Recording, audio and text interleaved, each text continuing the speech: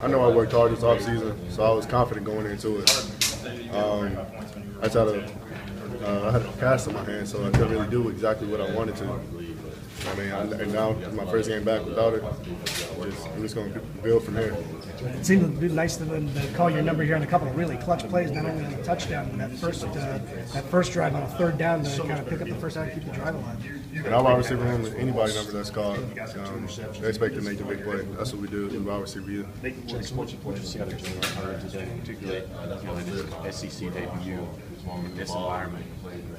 Is- he's a hard worker. I mean, he's young, plays like he's been here the whole time. I mean, he's constantly going forward, and never backwards. You were in that, those locker rooms last year, coming off a lot of hard defeats. Butch says it's different. How is it different? What, what do you see differently about this team's investment? Our head is up. We know we're eh? there. It's just, you know, just make those those few plays. You, know, you never know. You said you actually had a cast in your hand. What, did you have like a broken bone in your hand, or what happened? Just, I got nothing coming. When- When did that happen? Was that um, preseason or was it just Right before the first game.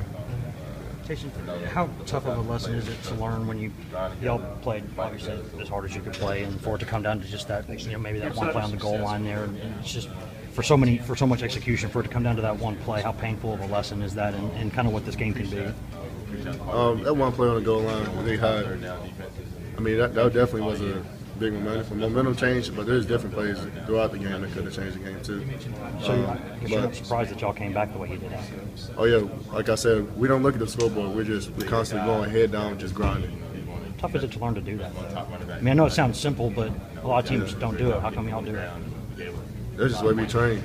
I mean, we just go, go. We're never looking up. That's our, that's our thing. We just we just have the edge in what we do. What's uh, what's running through your head when um, Justin went out? I mean, he was on the, on the bench. It looked like kind of looked like he wasn't going to come back in. Kind of what was your reaction? Did you see what what specifically happened happened to him? We have different situations where we have our backup quarterbacks come in. So, I mean, I was confident in him handling it just like Worley was. Does he kind of prove his, his toughness by getting back in there after he banged up his throwing arm? Oh yeah, definitely.